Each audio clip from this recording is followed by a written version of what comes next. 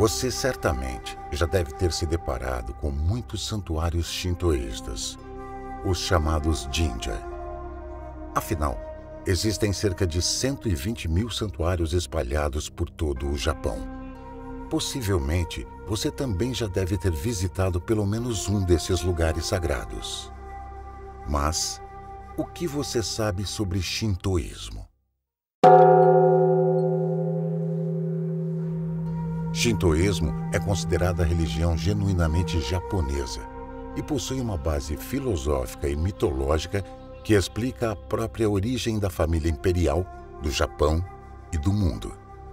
Mais do que uma tradição milenar, o shintoísmo se faz presente em muitos aspectos do comportamento, da espiritualidade e da cultura nipônica.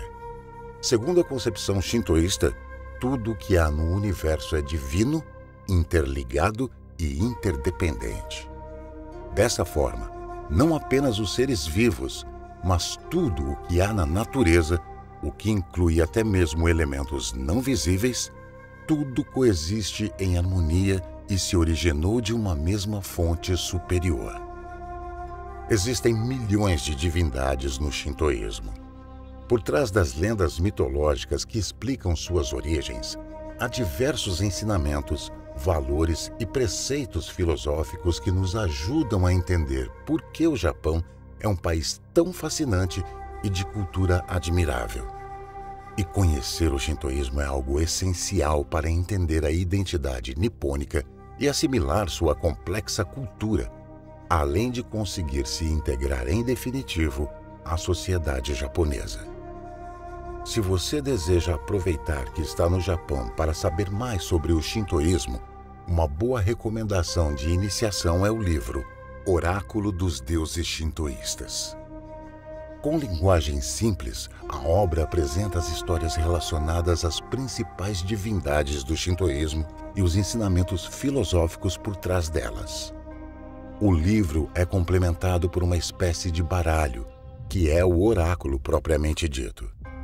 É um conjunto de cartas semelhantes ao tarô cigano, mas voltado para o shintoísmo. Com base na sua data de nascimento, o oráculo vai apontar qual é a sua divindade protetora. Além disso, você poderá consultar as recomendações que os deuses shintoístas têm a lhe sugerir, usando esse direcionamento para refletir sobre os ensinamentos divinos e aplicá-los na sua vida e no seu dia a dia. Em um momento tão conturbado para todo o planeta, Talvez as respostas para tantas incertezas estejam na espiritualidade, na busca pelo autoconhecimento e no entendimento sobre o verdadeiro propósito de nossas vidas e aspirações.